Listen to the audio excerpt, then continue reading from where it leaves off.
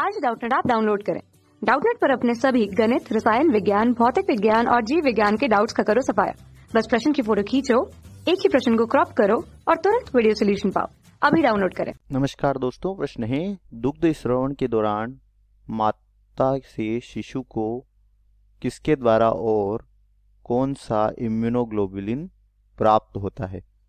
तो दोस्तों, हमें बताना है कि जो दूध श्रवण होता है, इस दौरान माता से शिशु को किसके द्वारा और कौन सा इम्यूनोग्लोबुलिन प्राप्त होता है?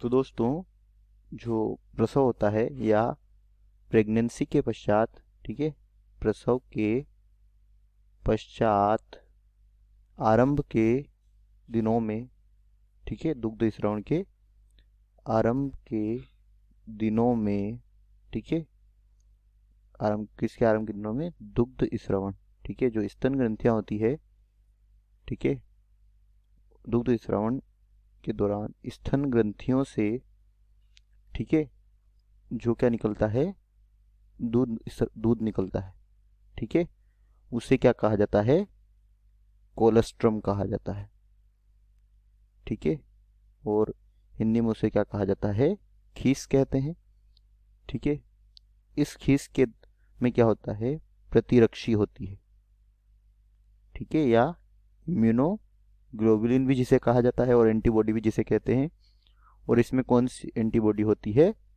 आईजी ए प्रतिरक्षी इसमें होती है। ठीक है?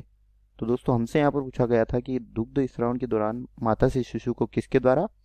तो दोस्तों कोलेस्ट्रम के द्वारा, और कौन सा इम्यूनोग्लोबुलिन मिलता है? तो दोस्तों, प्रतिरक्षी या आईजीए इम्यूनोग्लोबुलिन प्राप्त होता है। धन्यवाद।